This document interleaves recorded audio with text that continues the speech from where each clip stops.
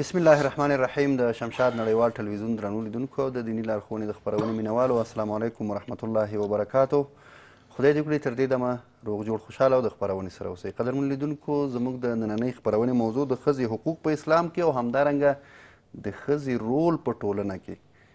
نن په دغه موضوع باندې خبرې کوو خوشبختانه د همدې موضوع د ښه تشریح لپاره را سره په سټوډیو کې قدرمن مېلمه دی د پوهنتون استاد ډاکټر عبدالشکور هډوال صاحب را سره دی کور دی ودان شي له ځان سره لرو درنو لیدونکو د خپرونې په اوږدو کې به ستاسو اړیکو ته هم ځای ورکوو او ستاسو اړیکې به اخلو خو کوشش وکړئ چې د موضوع په اړه د خپلو پوښتنو ځوابونه له قدرمن ډاکټر صاحب څخه ترلاسه کړئ ډاکټر صاحب ښه راغلاست وایم ستړي مه شئ هرکله راشئ مننه خیر اوسئ ډاکټر صاحب نن د ښځې په حقوقو باندې خبرې کوو همدارنګه د ښځې په رول خبرې کوو چې په ټولنه کې د دوی رول څومره مهم دی څنګه رول لوبولی شي په کومو برخو کې ورته په ټولنیزو چارو کې شریعت او د اسلام مبارک دین اجازه ورکړي خو که په سر کې په دې رڼا واچوي چې قرآن کریم ښځه څنګه وصف کړې ده بسم الله الرحمن الرحيم الحمد لله رب العالمين والصلاة والسلام على نبينا وسائر الأنبياء والمرسلين محمد وعلى آله وأصحابه أجمعين وبعد ده هر څه لمخې سیرت صاحب ستاسو نه او همدارنګه د شمشاد تلویزیون نه او د شمشاد د تلویزیون کارمندانو یوه نړۍ مننه کوم چې زه یې داسې یو مهمې موضوع ته نن رابللی یم او خپلو ګرانو هیوادوالو افغانانو او د دې تلویزیون لیدونکو ته د زړه له کومې سلامونه او احترامات په السلام علیکم ورحمت الله تعالی وبرکاتو وړاندې کوم وعلیکم السلام ورحمت الله دې کې هیڅ شک نشته چې الله سبحانه وتعالی دغه کون او دا مخلوق د یو هدف لپاره پیدا کړی دی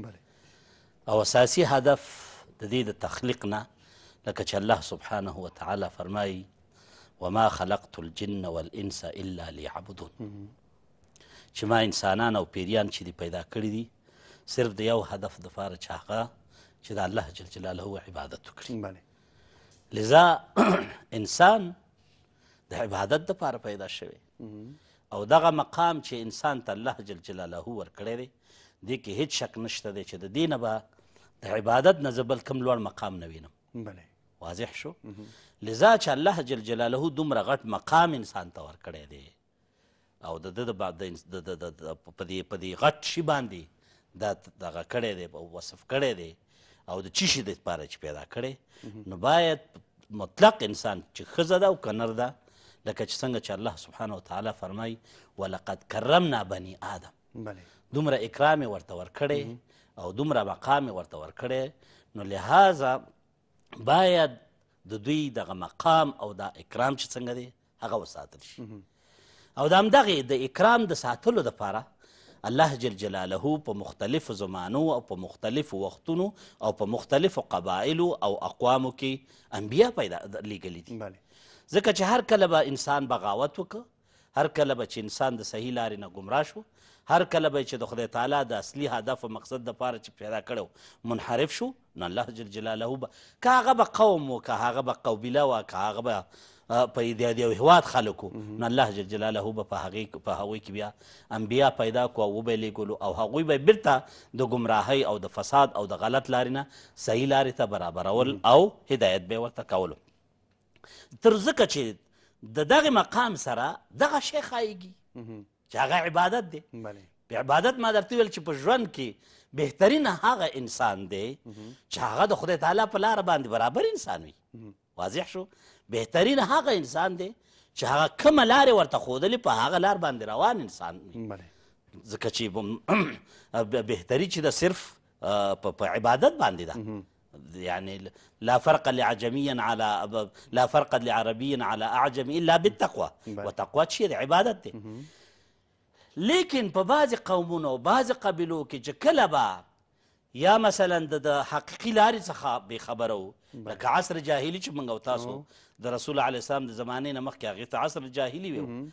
ولې هغې ته عصر جاهلي ویل کېده ځکه چې هغه جهالت پرې غالبه شوی اکثره خلک د صحیح لارې نه منحرف شوي وو اسره اکثره خلک باغي شوي وو اکثره خلک چې وو د هغه هدف هغه هدف د پاره چې پیدا شوي هغه هدف یې نه ترسره کولو نو ځکه هغې عصر ته او هغې خلکو ته به موږ یا جهلا ویل یا عصر جاهلي ویل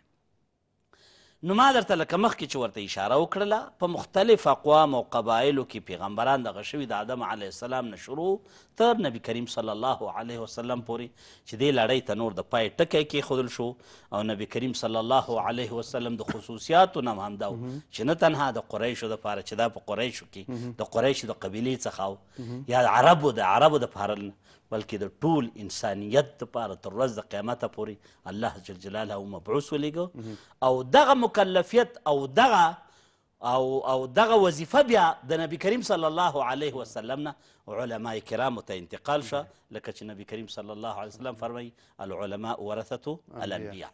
نو دغه مکلفیت او وظیفه په مرور د زمان باندې همدغسې د نبي کریم صلی الله علیه وسلم دعوت ته او د اصلي حقیقي هدف ته چې انسان ورته پیدا شوی دغسې سټیپ بای سټیپ په مختلفو مراحلو کې علما خلک دې لارې ته دعوت کوي او نه غواړي چې دا ګمراهیت او بغاوت او فساد دومره اندازې ته غالب شي چې په عصر باندې اطلاق د عصر جاهلي وشي لکه د اسلام نه چې مخکې عصر جاهلي مونږ اوس برای شو اصلي موضوع ته چې ښځه په دې زمانو کې څنګه وه بله په تیرو زمانو کې سیرت صاحب درې مشهور غټ قومونه یا درې مشهور غټ په تاریخ ته لحاظه دغه چې یو رومانیانو او یو چې مجوسیان فرسو او یو چې عربو بله زیات مورخینو او ناقدینو د په تاریخي لحاظ باندې دغه درې دغه درې طبقو د خلکو ته زیاته اشاره کړې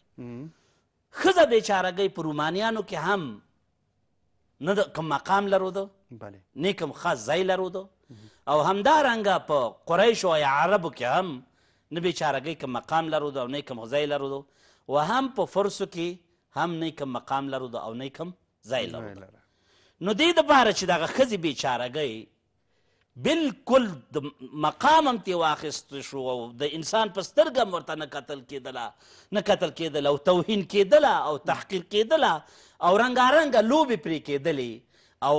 ځکه چې خلک باغي وو لکه مخکې چې ما ورته اشاره وکړه د نبوت د د د د عیسی علیه السلام او د نبی کریم صلی الله علیه وسلم ترمنځ چې کومه مرحله وه دا برور د زمان باندې همداسې کمېدله او خلک د ګمراهۍ پلو زیات کېدل نو هماغه چې نبی کریم صلی الله علیه وسلم الله جل جلاله ټول انسانیت او بشریت ته پیغمبر او مبعوث ولېږه نو که چېرته رومانیانو ته وګورو چې د عیسی علیه السلام یا د نصرانیت یا د مسیحیت نه هغوی په کم کیفیت کې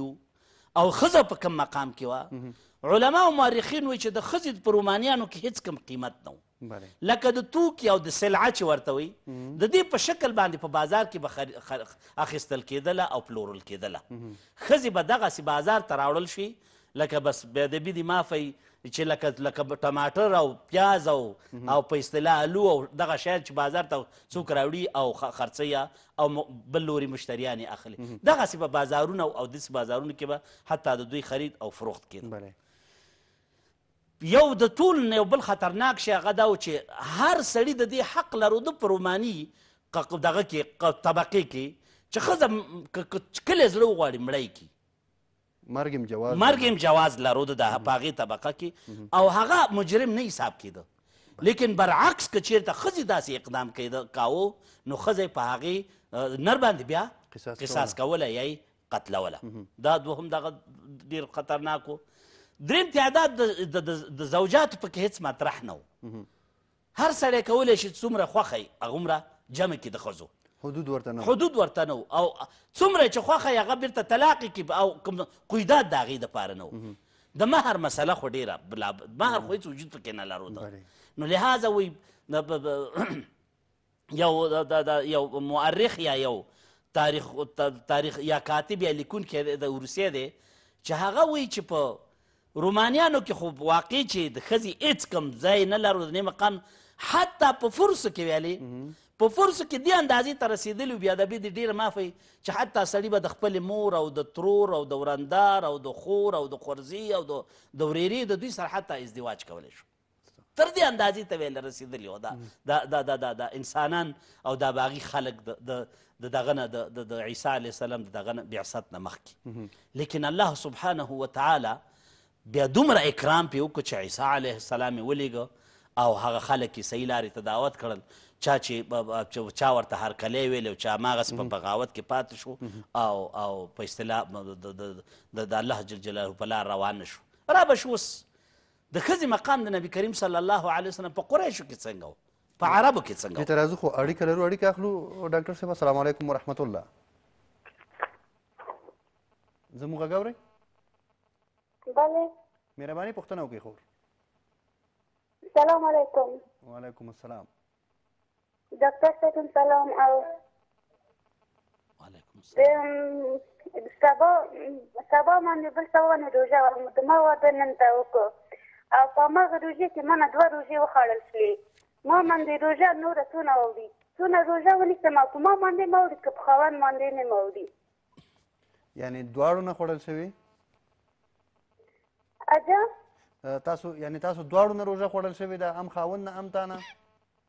و دواړو نه روژه خوړل شوې ده او دغه روژه چې دواړو نه خوړل شوې قصدي ده اجه دغه روژه تاسو نه خورکۍ قصدي خوړل شوې و و فرضي خوړل شوې نه قصدا نه هم خوړلې بله ما پوښتنه دا کوله مال روژه تاسو قصدا خوړل شوې ده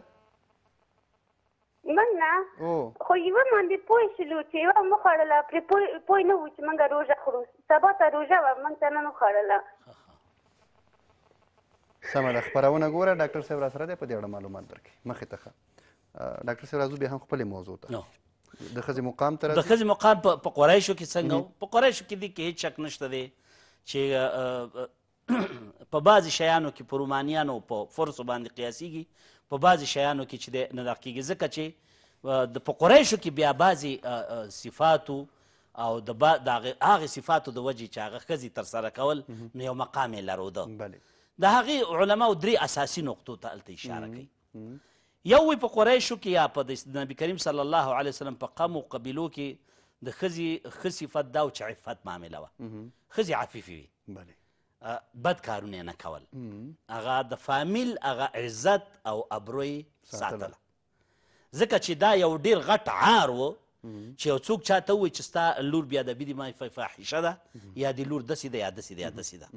نو د دغه عار د ساتلو د وجې نه یعنې پیغور نه چې پیغور نه ډالېږي خیر چې څوک زما زمونږ فامیل ته پیغور رانه کړي پلار ته مې پیغور ورنه کړي ورور ته مې ورنه کړي مور ته مې ورنه کړي نو جنکۍ به هغه خپل عفت او ښځو به خپل عفت ډېر کلک ساته دوهم نقطه دا ده چې یو شی په هغوی کې بل و چې دغه د خپل ژبې فصاحت او بلاغت یې ساته یعنی په قریشو کې داسې نشته دی لکه اوس چې عربانو کې موږ ګورو د هر ملک خپله لهجه ده د مصریانو خپله لهجه ده د لبنانیانو خپله لهجه ده د مصر د د په اصطلاح د خلیجیانو خپله لهجه ده په خلیجیانو کې بیا لهجې دي لهجو باندې موږ مشکل نه لرو اصلي فصاحت او بلاغت چې په کومه هغې زمانه کې او د هغې نه مابعد یو دوه درې قرنونو پورې هغه اوس موجود نه دی په, په عربي نړۍ کې لذا د د هغې ښځو د هغې ښځو یو دغه دا و چې خپل اولاد ته به یې عربي په پوره فصاحت او بلاغت او بی معنی الکلمه چه عربانو یی لکه څنګه چه ژبه وه قضی به یی ورته یادوله واضح شو عفت و فصاحت و او دریم صفت علما وایي چې د دوی دغه دا و چې اولادونو ته به یې ښه تربیه ورکوله نه غوښتل چې یو ګاونډی د بل ګاونډي د ماشوم نه شکایت وکړي د ګاونډیانو حقوق به یې ورته کول چې دا مثلا خاله ده دا د ترور ده دا مې ماما دی دا خپلوان دي پام چې شکایت را نو دریم صفت په هغې خلکو کې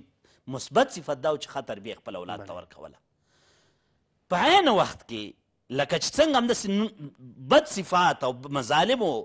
وحشت او بربریت هم موجود و بعضې ښځو ته موږ ګورو یعنې موږ باید همیشه یو شی عام نه کړو حکم باید عام ونه کړو واضح شو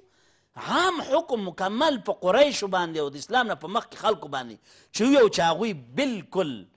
په اصطلاح باغي او فاسد او ګډوډ خلکو دا به ظلمي ځکه چې موږ هند ته وګورو هند بنت عتبه چې د ابو سفیان ښځه وه یو خپل خاص ځای لرو د وروسته به ورته شاور وکړو اګر چې هغه په جنګ کې نکل د ګیر شوې وه او بیا هغه بازار ته راوښکل شوې او خرڅه شوې وه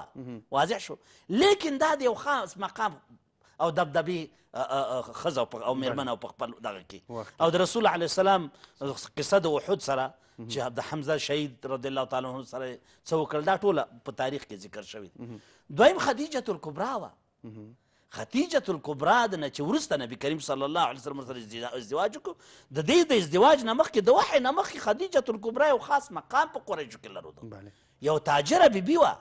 خلکو عزت کاو خلکو ورسره کار کاو خلک تی خوشاله و واضح شو ولو که د عصر جاهلی ښځه وه لیکن یو خاص مقام یو خاص ځای لرود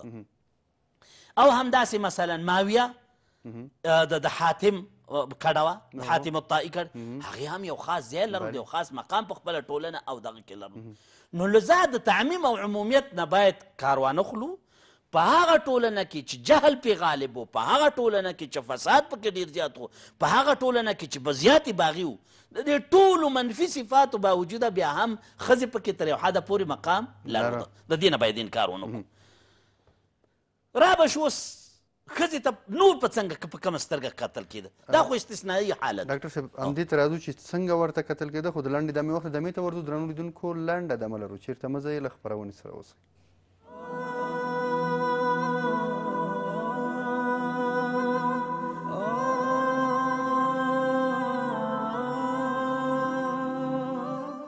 درنو لیدونکو بیا هم ستړي مشي ډاکټر صاحب راځو بیا هم خپل موضوع ته مخکې مو خبرې په دې وکړې چې د جاهلیت په دوره کې داسې ښځې وې چې ډېر مثبت پینټونه لرل هغه تاسو بیان کړل قدرمن لیدونکو ته مثالونه وړاندې کړل راځو نورو برخو ته اوس که چیرته منفی دغه تیری شو چې د ښځې مقام ولې په عصر جاهلیه د اسلام نه مخکې ولې دومره اندازې ته دا ښځه بیچارګۍ توهین کېدله او د مؤنث طبقې ته ولې دومره په ټیټ نظر کتل کېدل عصر الجاهلی هم دغه خپل عصر الجاهلی دغه کلمه شاید د دې لپاره کافي چې خلک جاهل خلکو جاهل خلکو د د جهالت نمونې هم همدا وي چې جاهلانه کارونه یې کول بله مثلا چې هغوی کې به جلۍ وشوله نو د دې په ځای چې خوشا اظهار د خوشحالۍ وکړي د تشاؤم اظهار به یې کوه او تشاهم همدې ته وایي چې همیشه منفي فکر یې د جلۍ دغه کاوه په دې دغه باندې کاوه چې دا جلۍ په کور کې پیدا شوه دا د د د یو نفرت نمونه ده دا دا کوي دا دا کوي دا دا کوي لکه وروسته چې په تفصیل سره به نو دې ته وایي تشاؤم یعنې هغه خف مثبت دغه یې ورته ذهن کې نه کېناسته ټول منفي ټول منفي شیان به چې ذهن چې د ده په دغه کې هغه به ټول د دې جلۍ د پیدایش او دغه ولو که په دې وخت کې مونږ ماشاءالله الحمدالله که د لور نه هم څوک خبرې او که د زوی نه خبرې زیری راباندې وکړي یعنې شیریني وکړي ورته یو شی اخلو همداسې یې نه پرېږدو لیکن د ډېر تاسف سره چې هغې وخت کې به چا په چا ته ویلې چې لور دې شوې حتی هغوی کور ته به نه راته د ډېر خپګان او غم د لاسه او د دې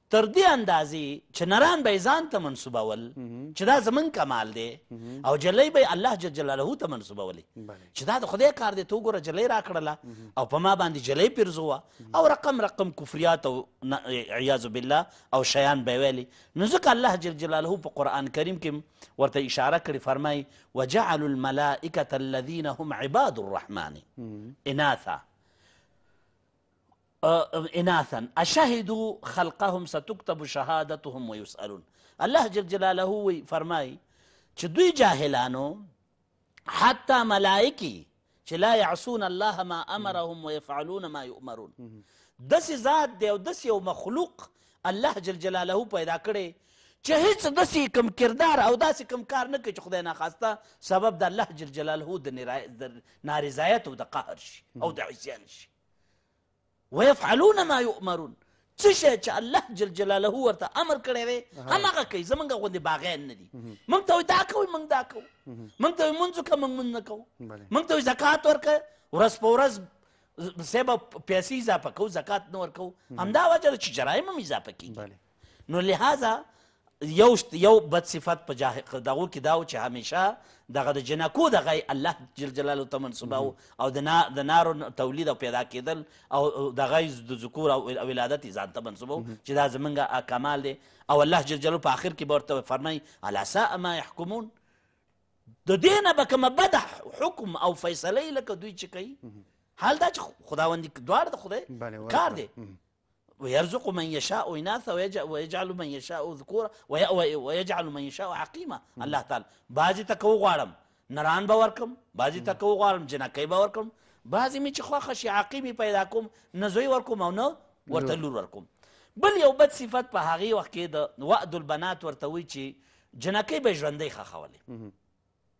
ددې دخاطر چې د جنکو نه دومره نفرت لرودلو چې دا به ژوندې خخولي او د قیس ابن عاصم المنقری مشهوره قصه ده چې نبی کریم صلی الله علیه وسلم تراغه ورته ویل اوس رانه یې دي چې دولس که دیارلس جنکۍ زما شوي وي او ټول به ژوندۍ خخې کړي آیا الله جل جلاله هو باغه ګناهونه هم معاف کړي راته او کنه نو ځکه حدیث شریف دی چې الاسلام یجب ما قبله او تجب ما قبله او کما قال صلی الله علیه وسلم اسلام داسې یو مبارک او مقدس دین دی چې د عصر چې د اسلام نه مخکې څومره هر څه چا کړي هغه خداوند کریم د اسلام د مبارک او تقدس د وجې نه هغه ورته معاف کوي په دې شرط چې کافر او مسلمان شي داسې نه چې لکه د دې زمانې مسلمانان څه چې خوښه هغه کوي بیا حقوق سیرت سه په دوه قسمه دي یو حقوق الله دی او حقوق العباد دي حقوق العباد په دې دې خلک ښه پوه شي او ښه دې پرې سرونه خلاص کړي حقوق العباد خدای هیچا ته نه بخښي بله دا د عباداتو د بندګانو پورې مربوط حقوق دي تر څو چې هغه بندګان د خپل حق نه تیر نشي خدای تعالی د هغې د حق نه ورته نه تیریږي دا صلاحیت د دا صلاحیت هماغه الله هماغه ته ورکړي څنګه خدای تعالی یو صلاحیت یو چاته ورکوي بیرته هغه صلاحیت تی سلبوي او خپل اختیار کې راوړي چې امکان نه راوړي واضح شو نو لهذا حقوق العباد غیر د دینه چې څوک د چا کم حق خوړلې یا هغه حق ادا کی په دنیا کې او که حق په ادا کې د دنیا کې د ادا نه کو ځکه چې هلته خو نه ځمکې شته چې چا غصب کړي نه پیسې شته چې چا نه قرض حسنی خوړلی نه بل شی شته نه بل شی شته نو هلته بیا مسله صرف د اجرونو او د ګناه د دغه ده د ګناهونو ده په مقابل کې به یې اجرونه ورکوي چې اجرونه نه خلاص شي بیا به د هغې لورې نه ده ته ګناهونه راځي نو لهذا انسان دی چې څوک ځان ته مسلمان وي چې ظلم ورسره وشو هېڅ دې نه مایوسه کېږي په هر حالت کې الله جل جلاله دا ماجوره کړی دی واضح شو که چیرته د ده دا ظلم په دنیا کې وځنډیږي او سړی ترې عفو ونه هم په مرور د زمان الله جل جلاله ده ته امر ورکوي د صبر امر ورکوي ان الله مع الصابرین فاصبروا صبرا جمیلا او که چیرته بالفرض دنیا کې ترې عفو واخیستله نو هم دغه تیر وخت خدا دې چې خدای تعالی ده ته اجر ورکړی نو انسان باید په هیڅ حالت کې مایوسه نشي ځکه د ده په دواړو حالت کې ګټه ده واضح شو نو راځو بلته اصل مسلې ته چې دوی به دا جنکۍ ژوندۍ خښولې ځکه د جنکو نه ما درته لکه مخکې چې ویلي دوی ویل خښه دغه نه لرو معاویه رضیالله عنه فرمایي چې عمرو بن العاص زما کور ته داخل شو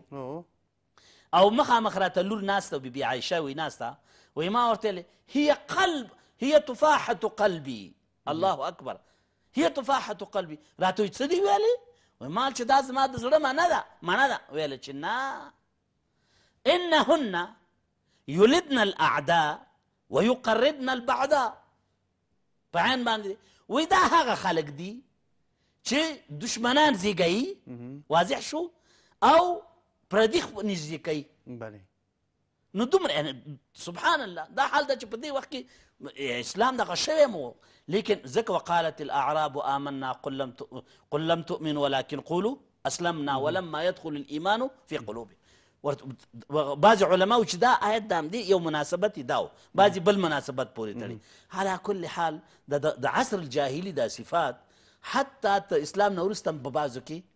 موجود رضی الله تعالی عنهم خداوند کریم دی مغفرت نه ان شاء الله خپل شادي ورکي چې رضی الله تعالی عنهم وردو عنه خدای تعالی دا غوی ناراضي دی او غوی د الله جل جلاله ناراضي دی نو دغه صفت په قریشو کې او د اسلام نه مخکې په خلکو کې هم موجود بل سب ورته وي سب زراری چې ورته وي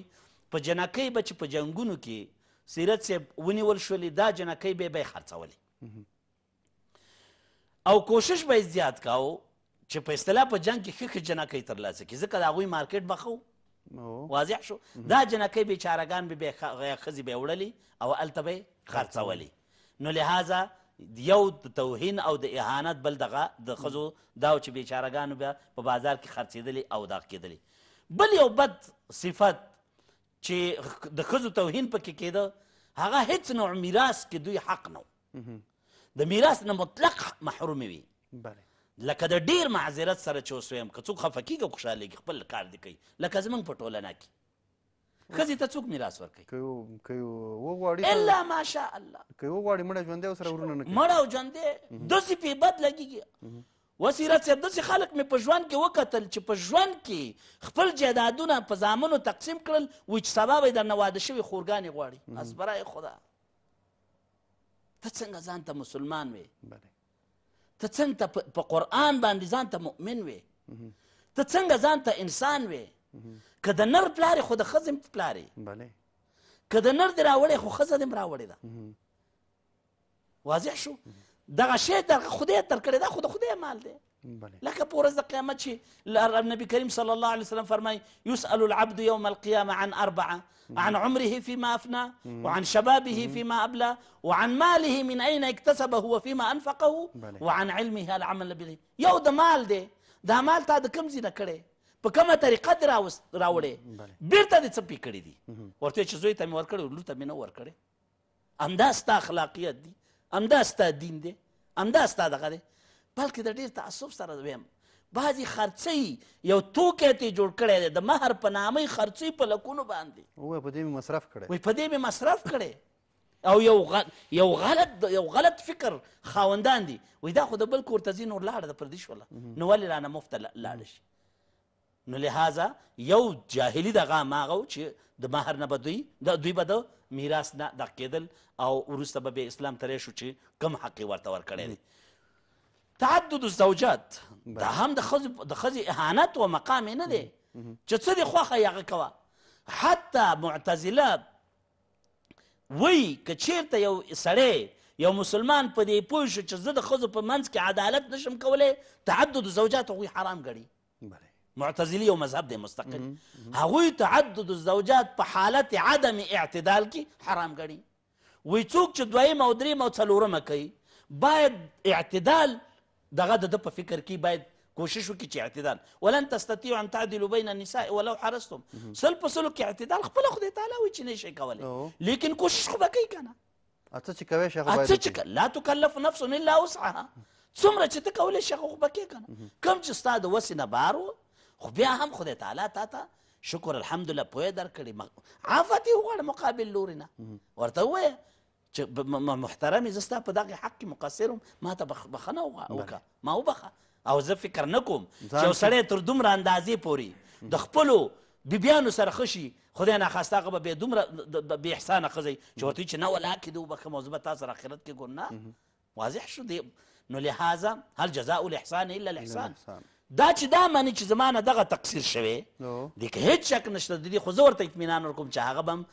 په داسې تقصير حالت کې هغه خپل دغه بخي نو لهذا په د مېرمنو ته د مهر نه محرومې وي تعداد د زوجاتو چې هېڅ موجود نه و څه به چې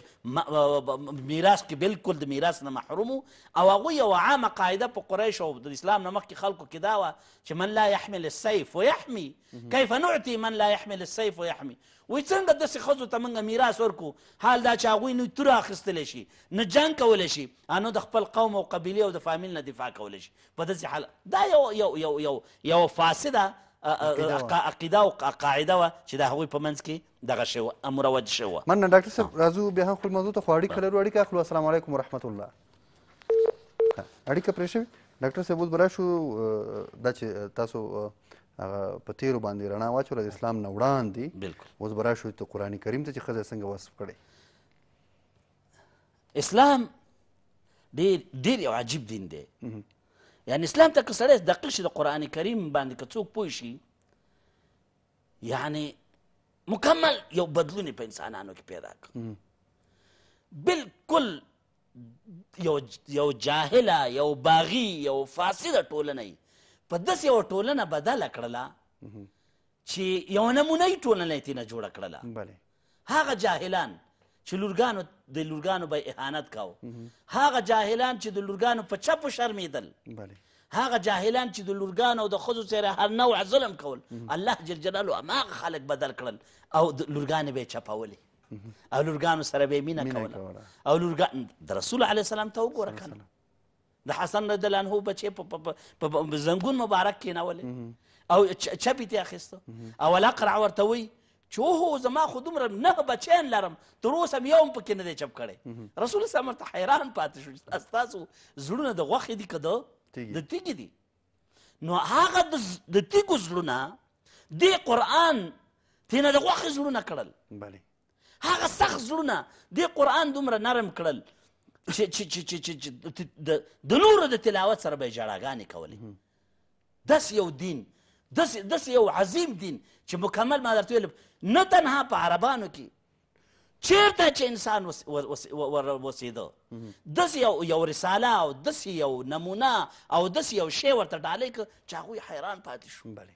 زیات خلک چې په اسلام کې داخل شو د اسلام د خوبیانو د وجې نه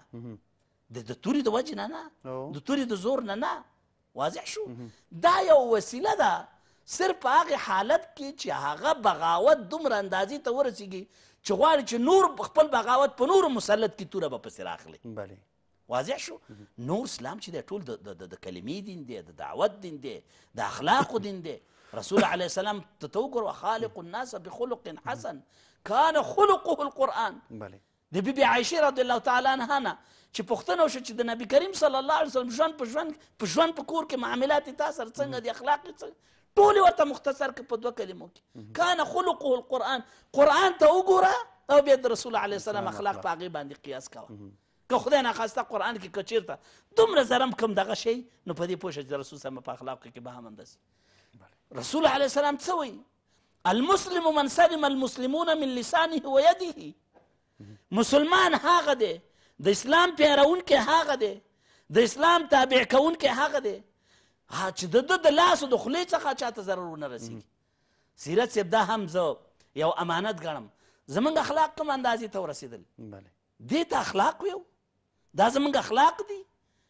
دین ته ځان مسوبه وو د دین نه لري وو په خدای ایمان لرو چې دغه بندگان یو دغه بندگی نه کوو په نبی کریم صلی الله علیه وسلم ایمان لرو چې زمونږ پیغمبر دی مونږ ابدا دغه په لار روان نه یو د لاس نه خلق زمونږ متضرر دي د خولې نه خلق زمونږ متضرر دي یا غیبت کو یا تهمت کو په مجلس کې چې کینې بل شی نشته یا د خلکو سپکوالی دی پوه شوې یا چپړوسه طبقه ده د نااهلو خلکو اضافه والی کوي بې ځای چپړوسي کوي دې د خاطر که مجلس کې څوک کوي چې ورته یې ورسوي چې پلاني د پلاني مسجل کې مجلس کې صفت صفت وکړو. دا زمونږ ایمان دی دا زمونږ وجدان دی او دا زم... او دعوه ته به ګوره چغې وهو چې اسلام مونږ څوک کوي پنځه وخته چغې وهو چې زکات کم سرمایهدار دي زکات ورکوي چغې وهو چې مسلماني او صله رحمي په کوم یتیم باندې چا زړه خوږ کړی کومې کونډې ته چا اوړه ور وړي نبی که الله سبحانه وتعالی فرمایي دومره درجه مې ما د انسان ته ورکړه لقد لقد کرمنا بني آدم چې دا مې مور کړه چې دا مې لور کړه چې دا مې ښځه کړه سړی راځي رسول علیه السلام ته فرمایي چې اوسیني بیا ورته وایي د د د د د مور حق پوښتنه چې مور په ما څومره حق لري بله درې ځلې ورته وایي امک امک امک په څلورم ځل ورته وایي چې ابوک د د د مور قدر او عزت یې درې د پلار چنده نه د اضافه پلار کړ. په- په- په- دغه کړی په څلورم ځل یې د پلار ذکر کړی دی لور ته یې نیمایي حق د میراث ورکړی بله ځکه مکلفیتونه یې نسبتا د نر نه کم دي او لور مهر اخلي نفقه په میړه ده د اولاد نفقه په پلار ده واضح شو نو د دې د وجه مسؤلیتونه کم دي صرف نرته دوه دوه دوه حصې ورکړي او یو حصې لور ته ورکړي مهر د چا دی د لور دی میراث کې نیم حق طلاق حق چې د نر دی هغه مشروط طلاق دی بله چې کله سړی پوه شو چې مسله بیا به ته رسیږي مسله خدای نه خواسته د دین هم سخت قتل و قتال او دشمنی ته رسیږي دا شرایط دي ورته کی داسې نه لکه عصر الجاهلي چې څوک د خوښه کوي او څوک د چې خوښه پرېدای نه د غیر پر قیدات او شرطونه کې الله جل جلاله فرمای هو الذي خلقكم من نفس واحده وجعل منها زوجا ليسكن اليها الله جل جلاله نر او ښځې د یو نفس نه پیدا کړي او بیا د هماغې نفس نه هغه دی ښځې هم ورته ورکړي د دې د ښار لتسکن الیه او لیسکن لتسکن سبحان الله څه شي دپاره سړی ازدواج کې سکون دپاره د ارامتیا دپاره چې تشویشونه یې رفع شي چې مشکلاتو کې ورسره خاوند د میړه سره مشکلات ښه ملګری ولري ښه دوست ولري بل ځکه الله جل جلاله فرمایي یا ایها الناس اتقوا ربکم الذی خلقکم من نفس واحده وخلق منها زوجها وبث منهما رجالا كثيرا ونساء واتقوا الله سبحان الله واتقوا الله د خدای نه ویریږي پام کوئ هغه څه ونه کوي پام چې د ښځې هغه مقام چې خدای ورته ورکړی کوم ځای چې ورته ورکړی پام چې هغې کې تقصیر درنه ونه شي پام چې د توهین په سترګه ورته ونه ګورئ پام چې اهانت یې ونه کوي ځکه ورته وي چې د خدای نه وویریږئ ولې د خدای نه وویریږئ خدای مقام معلوم کړی خدای حد معلوم کړی خدای هر څه معلوم کړي او هر څوک چې په دې حدودو کې تقصیر کوي هغه د خدای تعالی نه نه ویریږي څوک چې د خدای نه ویریږي نو باید د دوی دغه مقام همقسې وساتي الله جل جلاله په بل ځای کې فرمایي ولا تکرهن فتیاتکم علی البغا جنکۍ ته دا حق ورکړی پیغلو ته دا حق ورکړی څوک چې اختیاروي د زور معاملې نشته د زور معامله نشته چې بالغ شو علما څه وي وسیرت سي په وړکتوب کې لکه زمونږ په ټولنه کې چې په وړکتوب کې ورکوي په وړکتوب کې که چا لور او خور چاته ورکړه کله چې بالغ شوه دا به کینی او بیا به ترې پوښتنه کوي چې لور یا خور پلاني ته ما وړکتوب کې ته ورکړی وایه خوښ دې دی که که نه کې یعنې د کولو نه کولو صلاحیت مکمل ټول صرف مشوره ده وشاورهم فی الامر مشوره ده مشوره به ورسره کوي د مشورې حق لري مور دی پلار دی دومره تکلیفونه تیر کړي دومره رنځونه کتلي دومره مشکلات او او هغه یعنی عالم پوی مور پلار پوه مور پلار به خدای نخواسته لور کوم کاندي ته ورچي امکان کوم جاهر احمق سړی چې پیسه دوسته ماده پرسته هغه چې هغه د پیسو په قصه کې چې هغه بیا د اولاد غم هم نه کوي هغې ته تقریبا نران او ښځې به یو شی دی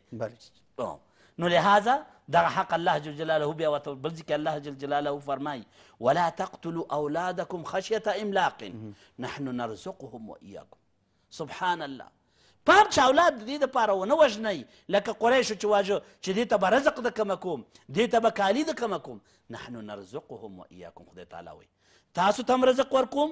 در کوم او هغوی ته هم زه ورکوم تاسو ته چې در کولی شم نو هغوی ته څنګه د غټ سړی به ډېر خوراک کوي که دا وړوکی ماشوم بېچارګی به ډېر خوراک کوي نو ولې نو ولې دې غټ سړي سره دا احساس پیدا شي چې هله دا فقر دی او غربت دی او پلانې دی پلانې دی دا به پیدا کړي بل ځکه الله جل جلاله فرمایي ولهن مثل الذي عليهن بالمعروف ولهن مثل الذي عليهن بالمعروف لکه ښځې چې څنګه همداسې حقوق لري په نرانو باندې په خاوندانو باندې باید دا هم ښځې هیر نه کړي چې خاوندان هم په دوی باندې همداسې حقوق, حقوق لري. لري خاوندان چې د کوم شي مطالبه کوي د خپلو حقوقو مطالبه کوي باید په عین وخت کې دا هم هیر نه کړي چې دا ښځې په ما باندې هم حقوق لري, لري. باید هغه وعاشروهن بالمعروف عاشرهن بالمعروف چی شته وي د مینې او محبت زندگی د خوشحالۍ زندگی د ټوکو زندگی په اصطلاح د خندا زندگی داسې نه چې صاحب ترې شي لکه غم چې کور ترې شي په جړا شي بیچاره کوي هر کار سره کنځله د ته په بازار کې بل چا سره ورانه شوي مشکل به بل چېرته پیدا شي په موټر سایکل یا په دغه به چاویرولې هلته د هغې قصور به بیا راځي د خپلې ښځې بي بي بیچارګۍ نه به مکړي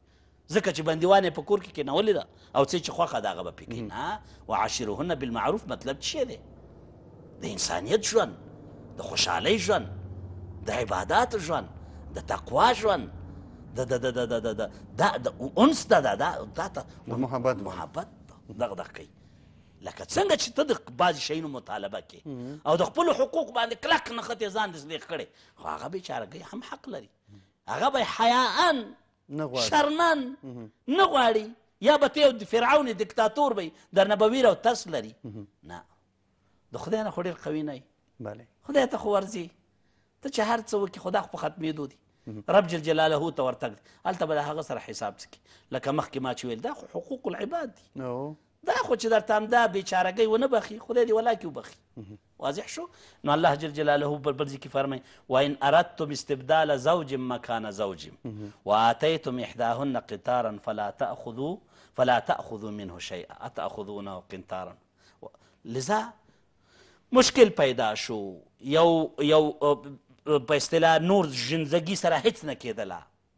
غواړي چې طلاق ورته ورکړي و پوه شو چې مشکل ملک ته د دې حق نه لري چې هغه څه دې ورکړي هغه ترې بېرته واخلي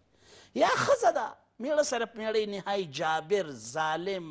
نه د خدای نه ویریږي نه د خدای په لار روان دی نه د خلکو خبرې مني نه نصیحتونه مني نه څه لري نو هغه خلعت یې غواړي په دې کې چې غواړي چې ازاده کړي ځان ترې نه خودمختاره کړي خو بیا هغه دا حق نه لري چې په اصطلاح څه چې ورته ورکړي هغه ځان سره ویسي او هغه ځان سره ویسي سبحان الله د دې نه به بل کوم غټ عدالت دي د دې نه به بل کوم اکرام او د دې نه به بل کوم دغه چې الله جل جلاله دې دې دې ښځې ته ورکړی او دې نر ته یې ورکړی او دی په څه دغه کیفیت باندې سره یو ځای کوي او په کوم یو بهترینه طریقې سره دلته بېلې مننه استاد راځو خپل موضوع تم خو د لیدونکو دوه درې پوښتنې لرو چې بیا دا پاتې نشي ځکه په تمه ورته ناست یل دا پوښتنه وه وایي د روژې نه لږ وړاندې واده کړی او په واده کې له ده او مېړنې روژې خوړل شوي ده دی نه پوهېدل چې دوی روژه خوړلې ده خو چې اوس به پوښتنه کړي چا به ورته ویلې چې روژه هم خوړلې ده څه وکړي یو خو اوله ورځ د روژې ده اګر چې په دې اوسنۍ زمانه کې په دې کې خو هېڅ مشکل نشته هر سړی خبرېږي ماشاءالله وسایل دي تلویزیونونه دي شیونه دي اوس ولا فیسبوک هم پکې دا مرض هم را پیدا شو چې اکثر په دې باندې اوس مبتلا دي هر شی نه پاتې شو فیسبوک پاتې دا هم پکې راغی بس نو اوس یو خو دا دی یو خو هغه دی چې ښه پوه چې سبا روژه ده دوی سترګې پټې کړي او ځان په غفلت کې نیسي که نه د د پوهې باوجود که د دوی نه روژه خوړل شوې دې کې شک نشته چې دا خطرناک دغه د شپېته روژه بنیسي ځکه قضایي شپېته یو مقابل کې شپېته شهرین متتابعین دي خو بل فرض که لکه څنګه چې خپله همدغه خورجانه وایي چې زمونږ په هېڅ پوه نه چې سبا روژه او ترې نه وخوړل شه په دغه کې زما شخصي نظر دا دی کېدلی شي بعضې علما زما د نظر مخالف چې هماغه یې روژه ونیسي ځکه چې قصدن یې نه ده خوړلې بله په دغه نسیان په دغه کې تېنه دغه دغه په ناخبرۍ کې تېنه نسیان بېله نه خبره یعنې دواړه به نیسي ښځه او میړه ضرور دی که چک نشته قضایي خو به نیسي که نه نیسي فدیه به ورکوي فدیه معلومه ده په دغه راځو د پکتیا نه خور اړیکه نیولې وه دوی ویل چې یور مې د اوقاس را سره کوي دغه مشکل د ښځو او زنانو په منځ کې ډېر دی او د دروغو تورونه راباندې تړي څه باید ورسره وکړي؟ اصلا یو شی بل دی کله کله دا د خسر او د خواخې نه هم دا مشکل پیدا کیږي دا خواخې او خسر کله یو انګور ته دومره سیه په سترګه باندې ګوري چې یا د ډیر غټې کورنۍ نه یا د خاوند آمدن یې ډیر زیات او یا ډیر خطرناک کوي نو دا دې نه دې ته ډیر زیاته ترجیح ورکوي او زیات دقیق د نور باندې دومره پروا نه کوي د کور اداره په خواخې او په خسر دي واضح شو لکه چې څنګه کوشش کوي چې همدغسې خپل زامن همېشه په خپل کنټرول کې وساتي او همېشه ورته نصیحتونه وکړي او د ګډوډۍ نه همدغسې لورګانې بېچارګان د پلدۍ لورګانې دلته راغلي دي باید د داسې یو ماحول په کور کې نه چې هغه د خفګانونو د جنګونو د جنجالونو بل زه د ټولو خورګان څخه دغه یوه هیله لرم چې دغه د صبر ماده په دې کې لږه کمه ده خیر دی دا د صبر ماده دې اضافه کړي بله یعنی صبر دې وکړي صبر دې کوي د صبر میوه دومره خوږه ده سیرت صاحب داسې خوږه میوه ده لکه لکه که په اصطلاح که هغه انګور چې اخرنۍ درجې د خوږو انار چې اخرنۍ درجې د خوږوالي ته ورسېږي مننه ډاکټر صاحب د هرات نه خور اړیکه نیولې وه پوښتنه وې زړه مې نه غواړي چې لمونځ وکړم کله چې د لمانځه وخت تېر شي بیا سخته پښیمانه یم دغه پښیمانی دی ماشاءالله ډیر ښه احساس دی لیکن دا اولنی دغه دی دا د شیطان یو حرکت دی تنبلی درته ایجادی که تکاسل درته پیدا کوي او په یو شی او په بل شی دی مصروفوي نو لهذا یعنی دغه ارکان د اسلام زه نه پوهېږم چې یو څوک ارکان د اسلام نه ادا کوي بیا دا په کوم بنیاد ځان ته دغه وایي مسلمان يعني اسلام طول عمل دی سیرت صاحب بله یو فیصد صرف اقوال لا اله الا الله محمد رسول نه نوي فیصد طول عمل دی بله واضح شو عمل چی شی دی لمونځ دی عمل چی دی زکات دی عمل چی دی روژه ده عمل چی دی حج دی چې وسه وشول او همداسې نور عملونه دي ښېګڼې دي د بدو نه ځان ټول عمل دی عمل دی عمل دی هغه کس چې دغه اعمال نه ترسره کوي دا په کوم بنیاد باندې ځان ته دا د مسلمانۍ لقب ورکوي اوس څه وکړي د ده پوښتنه همدغه ما ده. درته وویلې چې دا خور دې کوشش وکړي چې دغه وخت کې دا شیطان دې ته دا وسوسې پیدا کړي او تنبلۍ یا او په یو شي او په بل شي مسلو چې څنګه د الله اکبر واوري فورا دې هر څه پرېږدي حتی ولو که هغه په اصطلاح هغه ډوډۍ هم په تنور کې د وهلي پوه شي او پوهېږي چې د ماښام مونځ یې رانه قضا کېږي څو اودس کوم دا کوم هغه دې هم پرېږدي خیر دی یوه ډوډۍ دې ضایع کړي خو لمونځ دې نه ضایع کوي بله څنګه چې دا اذان اوري بهتره دی ته دا ده چې ډیره کلکه مصروفه نه جګه شي ته ورته پښتنه بل مو چې چا زړه کله ازار کوم هغه وخت اتمی چې ازارې خوند ته اخلي خو روسته بیا په خیمانه ما مخکې لکه حدیث شریف کې چې ویلې مسلمان رسول علی السلام تعریف کړي بل تعریف هیڅ د دین خه تعریف بنوي المسلم من سلم المسلمون من لسانه ويدي مسلمان هغه چې شاته ضرر ونه رسیږي نه د لاس نه نه د ژبې نه ولې خلک آزارې ته څنګه مسلمان چې بل آزارې که بل دی آزار کې ته بې صبر کوه ما درته ویلې د مسلمان پر حالت کې خیر دی په هر حالت کې خیر دی او بیا صبر کې خو ډیر خیر دی او آیا داسې اسباب شته چې دا هغه د دې دغه کېږي دافع کېږي چې دا دغه کوي که چېرته داسې اسباب وي نو بیا په دغسې حالت کې د دغه صحنې نه ځان وباسي هغه مجلس نه دی چې کېږي هغه د اتاق نه دی چې کېږي ځان دې په بل شي مصروفه کوي ځان دې کڼی په اصطلاح واضح شو که نه یعنې کوشش دې کوي چې چا ته نقصان او ضرر ونه رسوي خو بالفرض که ویې رساو خدای ناخواسته انسان دی کلکم خطاؤن و خیر الخطائین التوابون نبی کریم صلی الله علیه وسلم فرمایي چې د هر یو فرد فرد ستاسو نه اشتباه او غلطي کېږي لیکن بهترین انسان تاسو کې دا دی چې غلطي ترې وشي غلطۍ معافي وغواړي معافي دې بیرته غواړي تینه ډیر زر دې تی غواړي ځکه په مرګ باندې څه اعتبار پکار دی او بیا د افغان په مرګ باندې بله مننه ډاکټر صاحب دا چې موضوع یو اړخ زموږ د ښځې رول مو په ټولنه کې اوس راځو دې ته چې ښځه په ټولنه کې څومره رول لوبولی شي او په کومو ټولنیزو کارونو کې ورته اسلامي شرایط اجازه ورکوي غیر د قیادت نه د خلاصې په شکل به وي غیر د قیادت نه چې مشرۍ د قوم او قبیلی او د وطن نشي کولای نور ماشاءالله الله جل جلاله دې ته قید ټول اختیارات ورکړي او قید یوازې قیدات د دې لپاره نه دي وسیره صرف د ښځو قیدات زمونږ لپاره هم دي په کوم مجلس کې چې شرابونه څکل کېږي په کوم مجلس کې چې غیر مشروع کارونه کېږي موږ ته یې ویل چې هلته مه کښېنئ بله منګه ته ویل چې دغه سه خلکو سره نرانو ته ویل چې د خلکو سره ناسه ولاړه مکوئ منګه ته ویل چې باید عورت هم پټي لاړ شي دغه ته واضح شو منګه ته هم قیدا دي کې دا قیدا صرف د خزو د پاره خزه خزه طبقه باید دا ذهن کې کینې دي چې دا شی نه مشکلات ټول زموږ د پاره دي خزه به استاد د بهترین استاد کېدل شي صرف په حجاب کې بزي او هغه طبقه ته بدغه ور کوي او شاګرد خود سي لکه اولاد غوندي اناس مدرسې شکور لرو مکاتب لرو واضح شو تر متوسطې پورې خو هېڅ مشکل نشته دی بهترین استاد کېدلی شي او زه چې څومره ګورم زما تجربه په استادۍ کې چې څومره اخلاص په ښځه طبقه کې دی په نر کې بیا دومره نشته زه خپل د پوهنتون استاد ما ته معلومات دي په هغه پوهنتونونو کې چې ښځه تدریس کوي ماشاءالله محجبات زمونږ خورګانې دي د هغې نه شاګردان نسبتا د دغه نه زیات خوشحاله د بازه نه راغلي یعنې خواري ډېره کوي خواري ډېره کوي زحمت ډېر وباسي ښځه همدارنګه په د اسلام په چوکاټ کې دننه بهترینه پولیسه کېدلی شي دا تالاشي به د ښځو څوک کوي بله ځه که غواړو چې مجرمان ثابت کو په په په په دروازو کې موږ تالاشیګانې کوو دا د ښځو تالاشي به څوک کوي خو ښځې به کوي کېدلی شي چې دا جرایم څومره کېږي د دې اتیا نوي فیصد کې کېدای شي د ښځو په توسط وشي څوک ترې نه سوء استفاده وکړي د هغوی د غربت نه د هغوی د فقر نه د هغوی د جهالت نه د هغوی د ناپوهۍ نه واضح شو نو باید په هغوی دپاره ښځې موږ عوض ولرو زمونږ دین موږ ته همداسې وایي طبیبه ولې نه خپله ښځه خور زما دا پرزو نه ده چې صاحب نر نر هغه د هغې تشخیص وکړي او په هغې باندې په اصطلاح چک اپ یې وکړي نو هغه بل هم زما خور او لور ده او دغه د اولاد دی که نه او زما خور مور ده بله خو د پردی ده نه لهذا طبیبه کېدلی شي استاده کېدلی شي پولیسه ما درته ویلې غیر د دې نه چې قیادت نشي کولی ځکه رسول علیه السلام فرمایي لا خیر فی قوم ولا امرهم المرأة